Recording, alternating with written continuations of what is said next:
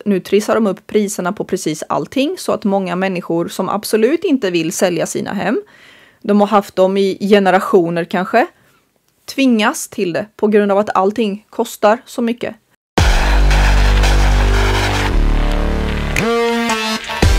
God morgon fantastiska människor! Vi är uppe i ottan tillsammans nu. Fast när vi ser det här så är det ju kväll som vanligt. Vi får se en eh, grådassig soluppgång tillsammans. Ljuvligt! Många har frågat mig vad man kan göra för att hjälpa till för att sprida det här med läroplanen som har sin grund i WHO. En del har varit väldigt skeptiska för att de eh, tycker att det låter konstigt. Obviously låter det konstigt. Det du kan göra istället för att skriva till mig hur skeptisk du är så kan du göra egen research och det kan användas genom att du skickar detta till Vi tillsammans.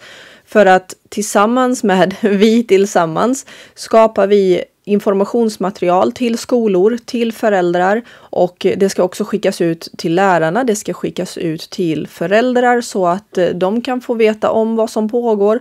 Så tanken är att skapa extremt mycket tryckt material och eh, bygga, det, bygga in det på webbsidan så att eh, vi alla kan hjälpa till att sprida informationen. Så om du anser att någon har gjort någon sorts bristande research, var med och hjälp till. Du kan vara en del av lösningen istället för problemet.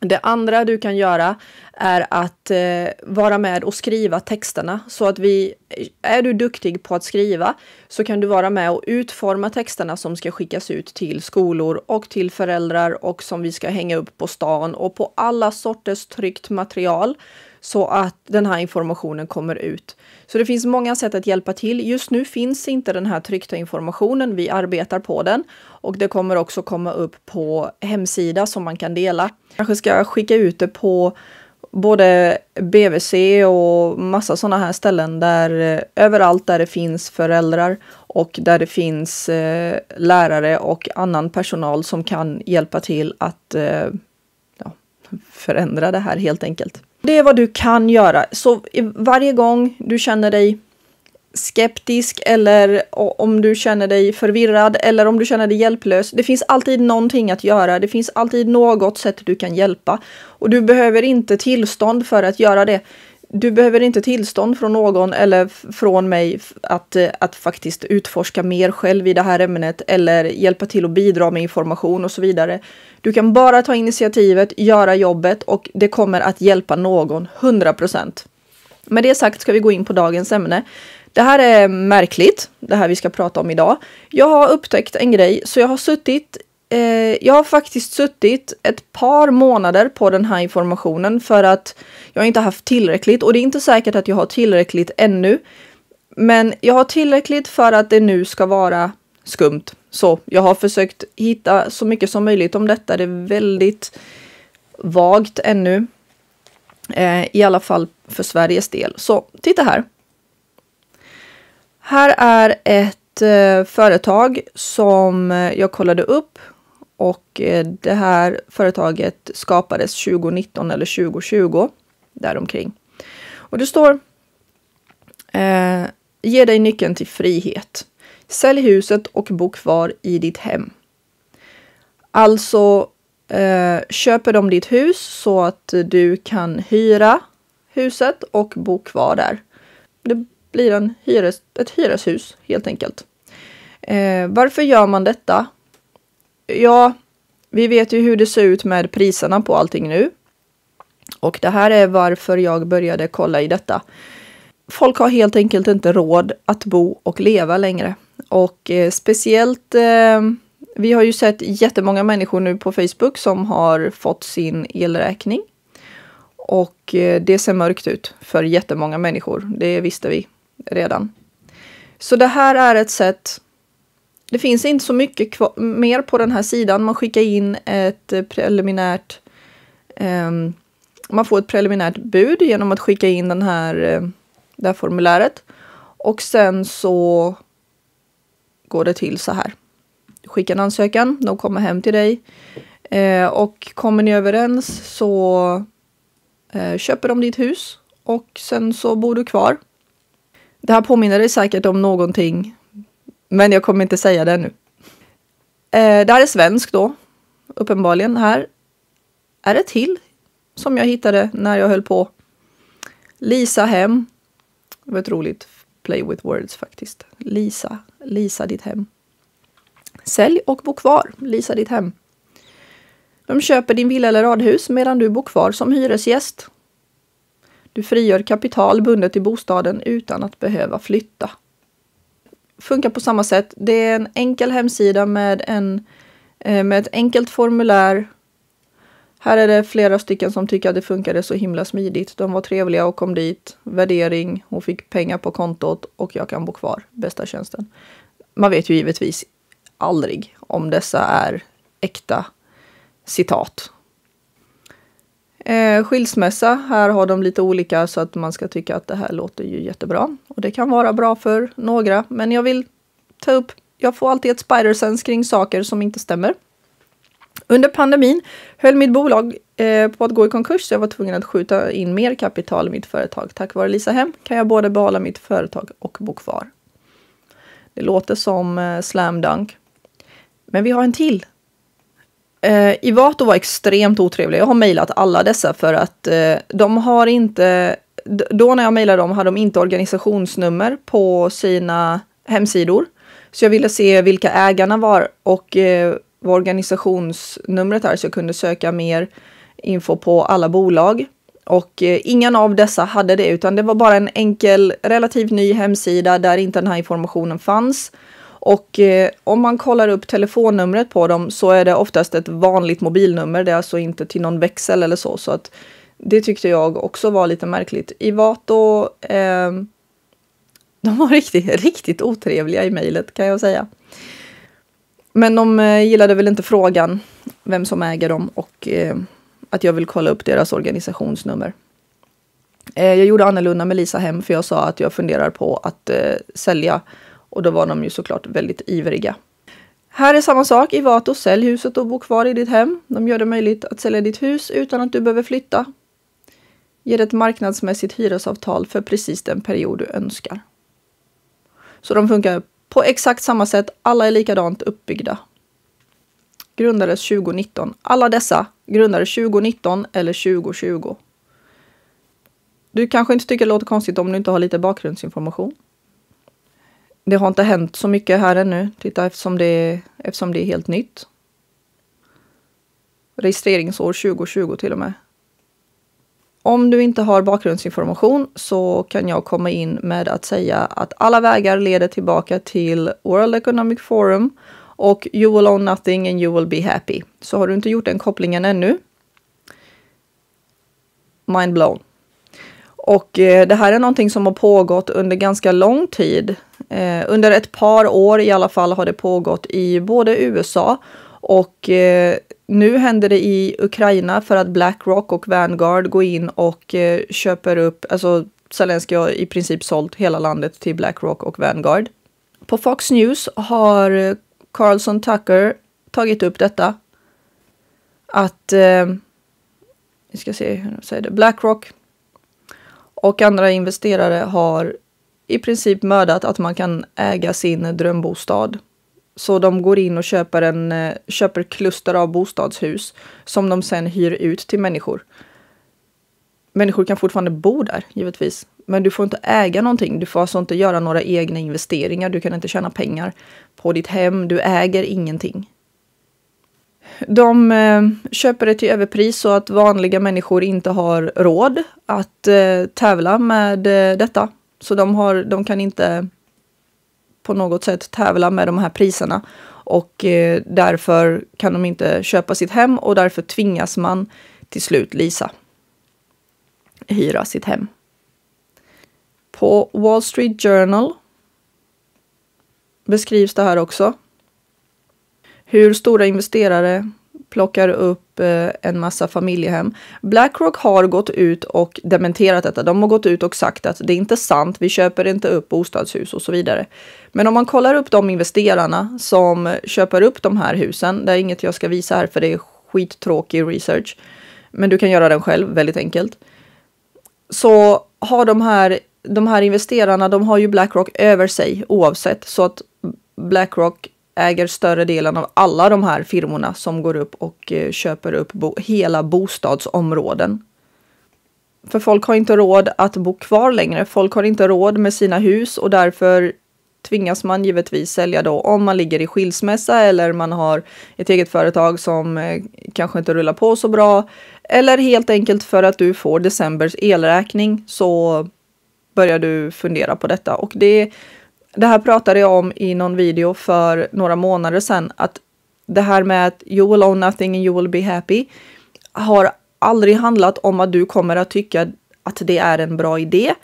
Det har alltid handlat om att du kommer att bli tvungen för att de kommer skapa omständigheter som driver dig till att eh, behöva sälja och behöva hyra allting som du ska ha. Och det kommer gälla hus, det kommer gälla mobiltelefoner, till och med kläder och allting. Det här tog jag också upp i en annan video, så nu alla de här sakerna jag säger nu sammanfattar jag från fyra, fem olika videos jag redan har gjort.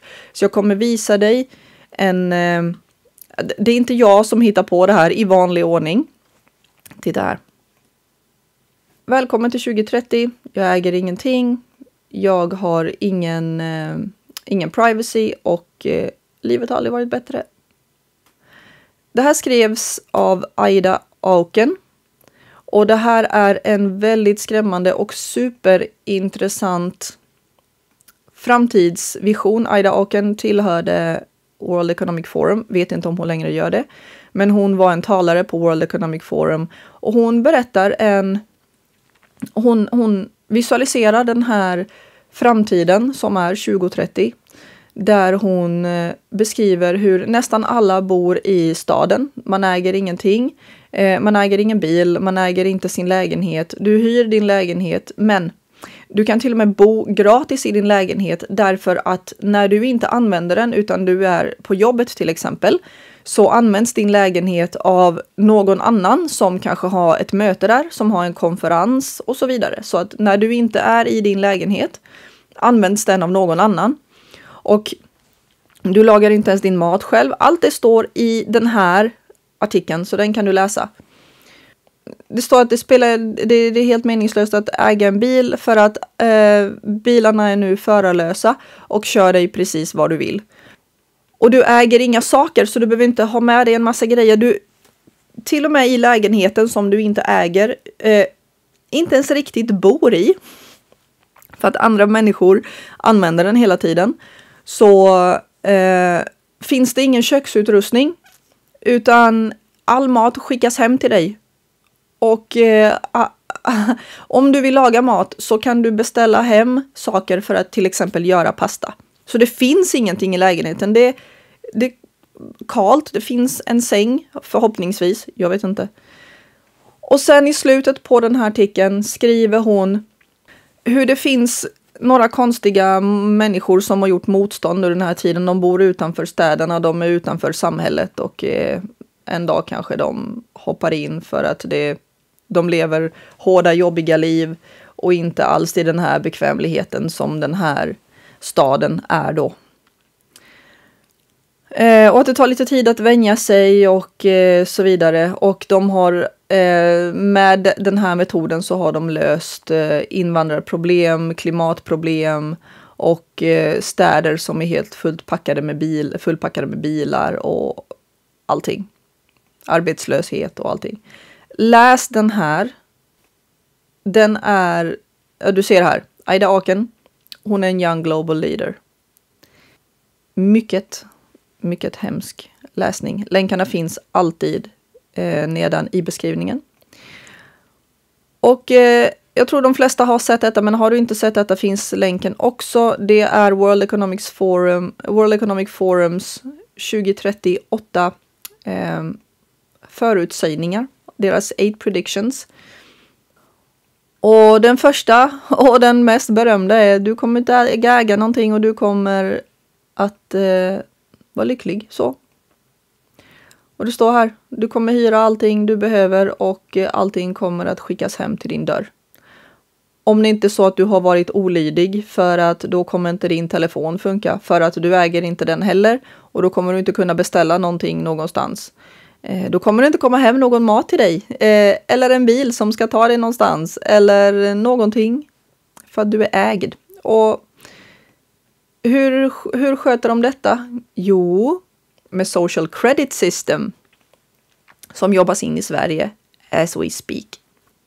Här är alla deras åtta eh, predictions.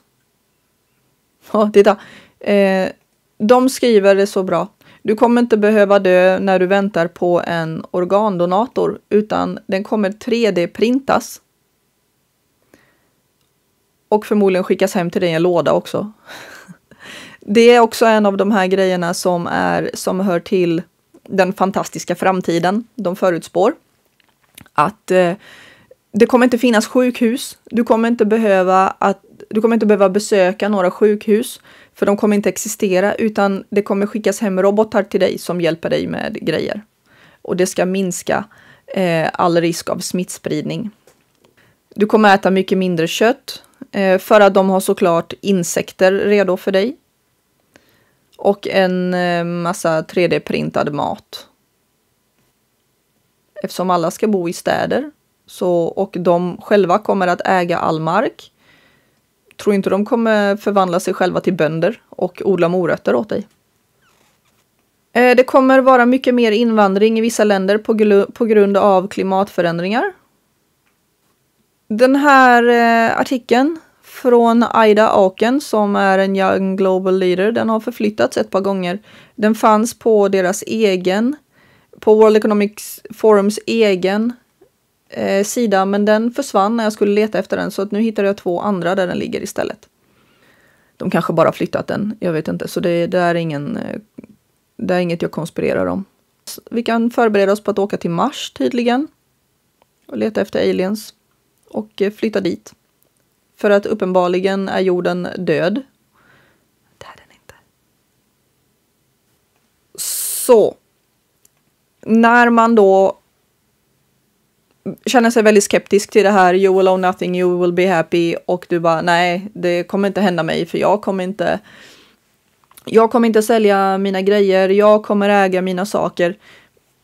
Problemet är det kommer inte finnas möjlighet att välja för att nu trissar de upp priserna på precis allting så att många människor som absolut inte vill sälja sina hem. De har haft dem i generationer kanske tvingas till det på grund av att allting kostar så mycket. Och eh, sådana här saker, så mobiltelefoner. Eh, det kommer, nu kan man inte ha burner phones längre, det existerar inte. Det finns inga kontantkort, du kan inte, eller de håller på att försvinna. Så det kommer inte finnas möjlighet att eh, ha en burner phone, utan allting kommer att vara registrerat. Och likadant med själva mobiltelefonen. Det spelar ingen roll vad du vill äga och inte äga när de bestämmer att eh, det kommer inte finnas att köpa. Du kommer inte kunna köpa det. Och om du ändå säger att ja, men då går jag på svarta marknaden och köper det med kontanter istället. Det finns snart inga kontanter. Så det här är de vägarna de tar. Det är ingen som aktivt kommer att säga att ja, men jag är nöjd med att inte äga någonting utan allting är enkelt att hyra. Jo, förmodligen ungdomar som inte eh, som växer in, de, de växer upp i, i det här tankesättet. Ja, för klimatproblemen och man ska göra det man kan, jag behöver inte äga och så vidare. Det sägs att man har mycket mer frihet, men du har tvärtom, du har mycket mindre frihet. Du får inte längre välja någonting. Så det är inte frihet, det är, helt, det är slaveri, det är helt tvärtom. Och eh, det kommer vara övervakning överallt, robotar och allt sånt här. Allting står i den här artikeln. Det är inte jag som kommer med domedags predictions. Där är World Economic Forum själva som beskriver hur år 2030 ser ut i deras lilla drömvärld. Så varför berättar jag det här? För att vi ska göra motstånd från allra första början. Det här har redan gått en bit. Och eh, social credit system byggs in redan som det är i Sverige, här, redan nu. Så man behöver bara hålla sig uppdaterad. Och vad vi kan göra är att slu inte sluta använda kontanter utan tvärtom använda mer kontanter. Vi behöver vara struliga i varenda steg. Kan du undvika att sälja ditt hem? Undvik att sälja ditt hem. Och varenda gång du ser sådana här prenumerationer på saker, prenumerera inte på grejer. Bind dig inte till saker som är en normal grej. vi kan ta ett exempel, till exempel Synsam har eh, man kan uppenbarligen köpa glasögon hos Synsam. Men nu har de, för, för folk som inte har råd att köpa glasögon men behöver glasögon för att alla vill ha syn, så får du istället prenumerera på tjänsten glasögon. Så istället för att bara betala för ett par glasögon så är det färdigt, så betalar du för dem i all oändlighet. Det är ett exempel. Så många abonnemang som makes no sense och vissa, vissa makes sense just nu. Men i det stora hela, när man stoppar det i kontext till det här, så är det faktiskt bara väldigt läskigt. Vi behöver vara lite snabba med att identifiera de här sakerna och eh, visa upp dem för andra människor så att andra människor kan se vad det är som pågår. Många av de här grejerna låter väldigt bekvämt. Och det är meningen. För att de hade aldrig tänkt tvinga dig. Man kan inte få med sig människor som du måste tvinga till saker. På det sättet får du bara upplopp och extremt motstånd. Men när det presenteras som, alltså det äldsta tricket i boken, äldsta tricket, äldsta psykologiska tricket man använder på människor. Få det att låta som deras idé, någonting som är bra för dem. Och så vet du att eh, de kommer gå med på det. Så var försiktig när du hör någonting som låter som att det är bara bra för dig eller låter för bra för att vara sant, för då är det det och så vidare. Var alltid, tänk alltid, vad vinner du på detta? För att om den andra parten inte vinner på detta, då är det någonting konstigt. Om du inte direkt kan se vad vinsten är för motparten, och det här gäller oavsett om det är den här agendan eller business eller vad som helst. Kan du inte se vad motparten vinner på detta, då vill de dölja det. Och då är det förmodligen någonting som i slutändan kommer att skada dig.